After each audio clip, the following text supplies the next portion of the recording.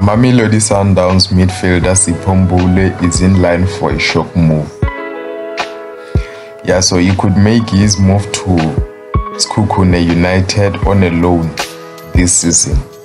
The 26 year old has fallen down the pecking order at Mamelodi Sundowns with competition rife for his midfield role and is set to leave the club for regular minutes.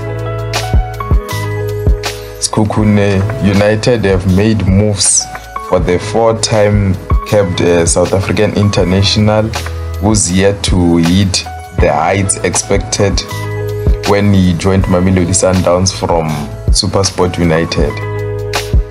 Yeah, so reports are that uh, Babina Noko are set to make an offer for a temporary switch before the transfer deadline uh, this Friday, subject to a player's agreement and with Mamelodi Sundowns open to the player making the move.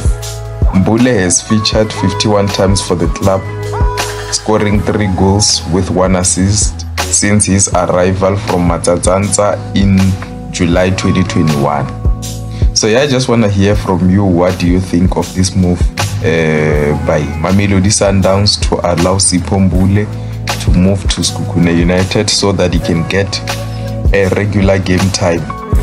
Because yeah, he hasn't been playing for, for, for a lot of games, and even when he plays, normally he comes as a he comes as a substitute or he plays in those games where Mamelodi Sundowns have uh, congested fixtures.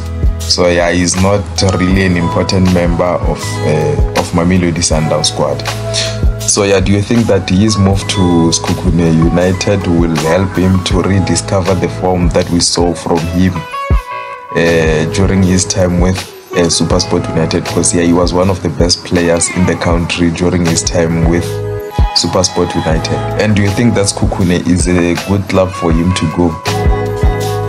And also, do you think that Mamelodi Sundowns would have been open to to loan him to a bigger team, let's say a Kaizer Chiefs or Orlando Pirates? Or do you think that they would think that uh, that's uh, strengthening the competition? Because yeah, we know that Kaizer Chiefs were once interested in Sipho Mbule and they wouldn't mind to have him on a loan. Yeah, but I don't think that Mamelodi Sundowns would allow, yeah, um, Sipho Mbule to move to Kaizer Chiefs because there would be uh, strengthening a direct opposition. Yeah. However, I thought that he would move to SuperSport United because SuperSport United they've recently had an injury of a uh, Grant Margeman who tore his ACL. So yeah, he would be out for almost the whole season. So yeah, I thought that maybe he might go back to SuperSport United. So yeah, let me hear your thoughts down below. What do you think of this move? uh, to Sekhukhune United. Yeah, to be honest, I didn't expect this move to happen. I thought that maybe Sipho Mbule would stay at Mamelodi Sundowns and try to fight for his place, especially under new management.